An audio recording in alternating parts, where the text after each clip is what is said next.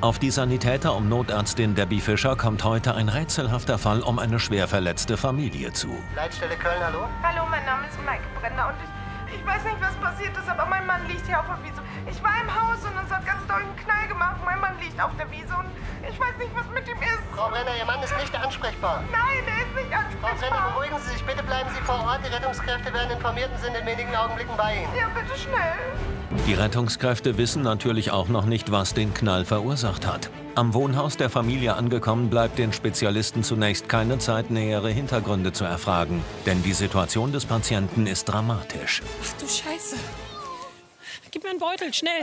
Hallo. Hallo. Hallo, hallo, Rettungsdienst ist da. Ist gut, ist gut, ist gut. Rettungsdienst ist da. Ist gut, ist gut. Wir übernehmen. Wir übernehmen. Wir übernehmen. Alles gut. Ich habe keinen Puls. Ich mach weiter. Gehen Sie hin zurück. Beim Eintreffen an der Unfallstelle fanden wir einen Mann vor, der auf dem Rücken lag. Und eine Frau war schon damit beschäftigt, ihn zu reanimieren, wie es aussah. Die war so in ihr Tun vertieft, dass sie erst gar nicht wahrgenommen hat, dass mittlerweile die Hilfe schon da war. 1, 2, 3, 4, 5, 6, 7, 8, 10, 11, 12, 13, 14, 15, 16, Intubation 18, vorbereiten. 19, 20, 21, 24, 25, 26, 29, 30. Eins, zwei. 1, 2, 4, 5, 6. Das Erste, was wir natürlich machen, ist festzustellen, hat dieser Patient eine Atmung und einen Puls. Beides war nicht da. Das heißt, die äh, Ehefrau stellte sich ja im Nachhinein raus, hatte schon begonnen zu reanimieren und das war goldrichtig. Was ist denn passiert? 12, 13, 14, Wir waren, wir waren im Haus und es hat einen total großen Knall gegeben und ich bin hier rausgerannt und meine? Schwiegermutter ist Schere. Kommt, kommt, kommt. Sättigung dran? Sättigung, Clip ist dran. Danke. Debbie, ich werde mal nach hinten gucken gehen. Da ist irgendwie die Schwiegermutter, haben Sie gesagt? Was, was, was? Noch Irgendwie die? Schwiegermutter noch. Geh gucken, ich geh geh mal gucken, kurz mal gucken. Ja, hier kommst du recht. 30. Man muss ganz klar sagen, wenn jemand einen Herz-Kreislauf-Stillstand erleidet, dann kann man nichts mehr verkehrt machen.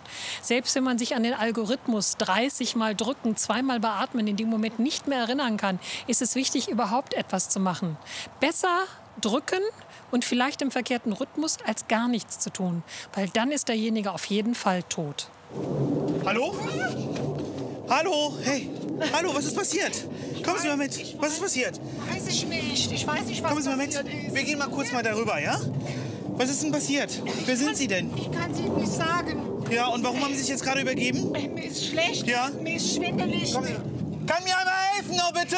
Beim Auffinden der Schwiegermutter ähm, war sie ziemlich verwirrt und wusste nicht so ganz genau, was hier passiert ist. Ich musste erst mal erfragen und gucken, was überhaupt los ist und warum sie in diesem Zustand ist. So, jetzt noch mal ganz ruhig. Versuchen Sie mal ganz ruhig. Debbie, ich werde noch einen zweiten RTW nachbestellen. Ja, auf jeden Fall. So, jetzt sagen Sie mir noch mal ganz in Ruhe, was passiert ist. Wir wollten grillen. Ja? Und ich wollte noch was hinten aus der Küche holen.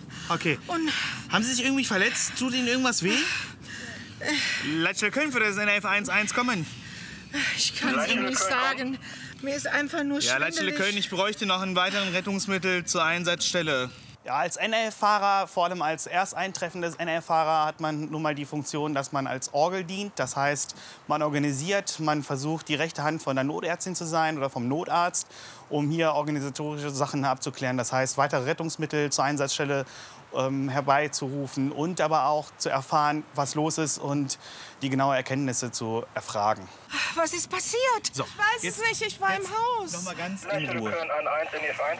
Ja, kommen Sie für den NF11. Ich habe im, Haus, ich hab im Haus alles fertig gemacht und dann habe ich nur den Knall gehört und dann habe ich gesehen, dass du bei Bewusstsein warst und ihn habe ich aus dem Fenster gesehen, Ja, dass das er da lag verstanden. und dann bin ich erst zu ihm gelaufen. So, tut tut, Ihnen irgendwas weh? Haben Sie irgendwo irgendwelche Schmerzen? mein Herz, ich habe Druck auf dem Herz. Ja, okay.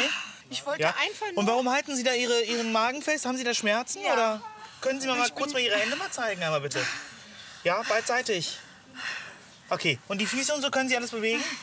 Ja, Da tut aber auch nichts weh oder so, ja? nein, aber unter den Füßen habe ich Schmerzen. Unter den Füßen? Unter den Füßen. Darf ich mal ganz kurz mal drunter gucken einmal? Ja.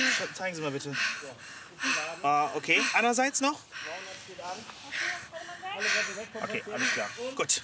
Debbie, so wie es aussieht, hat sie ähm, Einschläge in den Füßen. Da sind Verbrennungen richtig schön eingraviert. Du Scheiße. Ja, waren Sie Hast du mir mal den unterwegs hier? Puls? Oma, Ja? ich hätte gerne den Puls. Ja, Rhythmisch Puls oder ist, arrhythmisch? nee, Puls ist rhythmisch, aber sie klagt über Schmerzen im Herzen. Zugang legen. Ja, mache ich jetzt sofort. Zugang legen, dass wir zur Not alles haben. Ja, erst im Moment Sie bleiben soweit. kurz mal hier sitzen, ja? Für Angehörige gibt es nichts Schlimmeres, als denjenigen, den man liebt, plötzlich in so einer hilflosen Situation zu erleben. Wir müssen reanimieren. Sie weiß nicht, was ihrem Mann wird. Das Kind sah seinen Papa da, hat gesehen, dass die Mutter sehr aufgeregt ist. Das sind wirklich dramatische Situationen. Alle Mann, Vorsicht. Alle weg. Und schon. Schön weiter. Alles klar. Ein Patient, der einen Herz-Kreislauf-Stillstand erleidet, muss natürlich von uns beatmet und reanimiert werden. Es gab noch einen Herzrhythmus, aber der war nicht mehr sortiert. Das heißt, wir haben das Problem, dass dieser Patient ein Kammerflimmern hat. Wir haben jetzt aufgrund dieser besonderen Herzrhythmusstörung ihn defibrillieren können und Gott sei Dank kam auch der Rhythmus nach einiger Zeit wieder. Das zweite Rettungsteam um Notärztin Dorothee Kias erreicht den Einsatzort. Denn auch die Schwiegermutter der Melderin könnte aufgrund der akuten Herzbeschwerden jederzeit ein Kammerflimmern erleiden. Kannst du mir noch eben? Oh, Gott sei Dank, dann sind die ja schon da. Dann lass uns noch einen Zugang. Die Dame kam mir von hinten entgegen, hat sich übergeben gehabt. Ich habe noch keine. Ja, ich habe die Zugangstasche. Ja. Und hat sich dann halt übergeben und ähm, klagt über Schmerzen im Herzbereich. Ich habe äh, Einstichstellen im Fuß, wenn du mal nachguckst. Auf Nachfragen gab die Patientin Schmerzen in beiden Füßen an und bei der Betrachtung der Fußsohlen schienen die Spuren an den beiden Füßen auf einen sogenannten Blitzschritteffekt zurückzuführen. Das heißt, sie muss in der Nähe eines Blitzes gewesen sein und die Spannung ist dann in einem Bein eingetreten und im anderen wieder ausgetreten. Irgendwas ist passiert. Oder Irgendwo strommäßig irgendwas habe ich einen. Blitz gesehen, aber ich weiß nicht, was passiert ist. Okay, Sie können sich also an nichts Ich kann mich nicht erinnern. Bei einem Blitzeinschlag werden die verschiedensten Organe geschädigt und die Nervenleitungen sind einfach die Bereiche, die am besten den Strom auch weiterleiten, sodass dort halt auch durchaus Strom zum Gehirn weitergeführt wird. Und dort können halt multiple neurologische Effekte auftreten. Gedächtnisverlust ist einer davon. Wo ist Opa? Wo wollte... Gibt es noch Der, jemanden? oh mein Gott, ich habe den ganz Was ist vergessen. passiert? Der ist zum Auto und wollte Wer? Holen. Wer ist zum Auto? Mein, mein Schwiegerpapa. Der war auch mit hier dabei gewesen. Und wo ist das Auto? Seit etwa 20 Minuten ist der Schwiegervater der Melderin verschwunden. Beim Auffinden des 59-Jährigen erwartet Sanitäter Omar Alves ein weiterer Notfall. Denn auch dieser klagt über starke Schmerzen. Hallo? Hallo? Hallo, was ist passiert? Wer sind Sie denn? Ich bin der Clemens Bender. Ja? Herr Bender, was ist, was ist passiert? Ich habe so schlimme Brustschmerzen. Ja, okay. Äh, Leitstelle Köln für das NF11. Ich wollte. Herr Bender, seit wann haben Sie die Schmerzen? Ich weiß nicht genau. Ich wollte Ja? das, Darf ich mal Ihre Hände sehen? Zeigen Sie mal bitte ganz kurz Ihre Hände. die Kiste Bier wollte ich reintragen. Ja? Dann hat es ein paar Meter von mir geknallt. Ja? Und die Druckwelle hat mich regelrecht umgeworfen. Geknallt. Blitzeinschlag gewesen. Okay. Da habe ich mich nur noch schnell ins Auto gerettet. Da bin ich ja sicher. Aber äh, waren Sie bewusstlos oder können Sie sich an alles erinnern? Ja. Leitstelle Köln für das NF11. Ich bin da. Nachdem wir den ersten Verunfallten stabilisiert hatten, stellte sich plötzlich heraus, noch eine Person fehlt. Das ist natürlich eine Katastrophe. Was war mit dem passiert? Mein Neffahrer hat ihn dann auch gefunden. Und da mittlerweile der erste Mann stabilisiert war, habe ich dann auch da schauen können, was los ist. Und weitere Manpower wurde von uns nachgefordert. Tut das weh, wenn ich hier drücke? Hier vorne. Okay, da tut's weh. Lassen Sie mich mal gucken. Puls ist da, der ist regelmäßig. Darf ich einmal ganz kurz bei Ihnen? Tut mir leid, ich muss Sie mal ein bisschen nackig machen, ja? Ja, Wollen wir den Zugang auch hier schon mal legen? ja, leider. So, Also ich habe jetzt einen weiteren Rettungswagen noch bestellt. ja, auf Brauchst du einen jeden Notarzt Fall. oder soll ich? Notarzt brauche ich auch. Ich muss ihn einen begleiten. Alles klar. Die dritte Person lag auf dem Rücksitz eines Autos und klagte über starke Brustschmerzen. Das kann natürlich viele Ursachen haben. Wir wussten ja mittlerweile, es gab Blitzschlag, es gab mindestens zwei Verletzte durch Blitzschlag. Was ist, wenn er das auch hat? Weil Herzrhythmusstörungen können dadurch entstehen und das kann potenziell lebensgefährlich sein. Er ist anscheinend durch den Blitz also es gibt so eine Druckwelle, da kann man schon mal ganz schön durch die Gegend geschleudert werden. Und das ist passiert. Hier vorne ist ein bisschen instabil. Ja, das ist verstanden. Aber ich glaube schon, dass es nichts Schlimmes ist. Ja, der kriegt sofort was. 113. Und Sie haben alles richtig gemacht. Machen Sie sich bitte keinen Stress hier. Sie haben das ganz toll gemacht. Wir haben Ihren Mann im Moment wieder. Ja? Ja. Darf ich zu ihm? Selbstverständlich, aber er ist im künstlichen Koma. Ja, er schläft jetzt. Wir nehmen ihn mit ins Krankenhaus, aber er ist im Moment kreislaufstabil. Nur deswegen bin ich hier. Dann gehe ich jetzt Okay. wieder zu meinem Mann. Ja, gehen Sie Machen rüber, Sie das, alles ja? gut. Und versuchen Sie sich zu beruhigen, bitte. Ja, Ihr Schwiegersohn, glaube ich, ist das oder ist das Ihr Sohn? Mein Sohn, Herr Paul.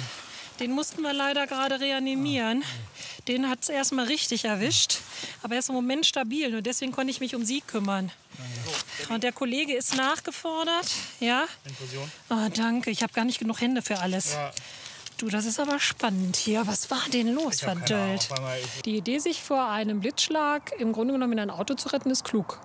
Das Auto steht auf Gummireifen und es ist aus Metall. Das heißt, der Strom des Blitzes gleitet im Grunde genommen draußen dran vorbei, ohne ins Innere gelangen zu können. Und das nennt man Faraday'scher Käfig. Ja, ja, Einmal eine Mo ja, danke. habe ich dir natürlich so aufgezogen. Ja, pur. natürlich. So, junger Mann, jetzt gibt es auch ein schönes Vielleicht Schmerzmittel. könnte das NF11 kommen. Debbie Fischer vermutet, dass die Schmerzen des Patienten auf Rippenbrüche zurückzuführen sind. Die könnten durch die enorme Druckwelle des Blitzes entstanden sein. Die Notärztin will auch ihn umgehend im Krankenhaus untersuchen lassen. Zuvor entdeckt sie jedoch ebenso eindeutige wie seltene Beweise für einen Blitzschlag. Ist es egal, wenn wir alle verschiedene Kliniken anfahren oder? Egal, wo ich was kriege. Vielleicht können wir das NF11. So, junger Mann, nicht erschrecken, jetzt wo sie einigermaßen stabil sind. Ich muss einmal ganz kurz. ein Intensivbett, Verbrennungsbett Ja, für den Patienten, männlich, ca. 35 Wow. bis 40 Jahre alt, intubiert, beatmet. Wow. So, junger Mann, Sie hat es ganz schön erwischt. Sie haben wahnsinnige Verbrennungsmale. Was? Der Blitz hat Sie richtig getroffen. Was ist das denn? Ja, Ach je. ja. Ja, das ist Warten Sie mal. Ebenfalls eine weitere Person, weiblich, ca. Oma. 60, 65 Jahre alt. Tut mir leid, er muss auch auf Intensiv. Der Patient klagte über Schmerzen in der Brust. Insofern habe ich natürlich ihn versucht, auch unbekleidet zu untersuchen. Und da sah man dann plötzlich auffällige Zeichnungen. Das nennt man Lichtenbergsche Strukturen. Und das sind deutliche Zeichen, wenn jemand vom Blitz getroffen wird. Im Grunde genommen sieht es so ähnlich aus, als würde Farn auf der Haut sein, von der Zeichnung her. Und das ist etwas, was entsteht, wenn der, die Energie des Blitzes durch die Haut geht. Also, Blitzschlag. Ihn hat es richtig erwischt. Er hat eine schöne Eintrittspforte und du siehst, dass er auch die Zeichnung hat. Ja? Und ich nehme an, das ist auch die Ursache bei den anderen gewesen. Ich weiß jetzt nicht, ob die Frau auch betroffen ist. Ich habe die Kollegin noch nicht getroffen. Die Patientin war relativ leicht verletzt, was sich einfach daraus erklärt, dass der Blitz oder der Stromschlag nicht das Herz passiert hat, sondern wirklich über die Beine, Beckenregion und dann wieder ausgetreten ist im anderen Bein. Die Patientin wird ca. 48 Stunden auf einer Intensiv- oder Überwachungsstation überwacht. Die Verbrann Verbrennungen werden chirurgisch versorgt werden und danach kann sie auch wieder nach Hause. Junge Herr, wer überlassen Sie dem Funkkontakt? Kollegen? Ja, Genau, der Kollege ist unterwegs. Und ich So, hole die Vorsicht. Debbie dann gleich ab, wenn, wenn ich hier die Übergabe gemacht habe. Alles klar. Ja? Dann fahren wir, ja? Ja, danke dir. Danke. Nach einer erfolgreichen Reanimation ist es natürlich wichtig, dass die Patienten ein sogenanntes gutes neurologisches Outcome haben. Das heißt, wir müssen das Gehirn schützen. In diesem Fall werden die Patienten für 24 Stunden auf Intensivstation heruntergekühlt, in ein künstliches Koma versetzt und erst dann lässt man sie wieder wach werden. Das hat den Vorteil, dass das Gehirn durch die Unterkühlung eigentlich geschützt wird. Der Schwiegervater hat Rippenbrüche erlitten, die komplikationslos verheilen. Genauso wie der Mann erholen sich auch sein Sohn und seine Frau vollständig von den Verletzungen des Blitzschlags. Dieser war bei einem kurzen Gewitter offenbar im Garten der Familie niedergegangen.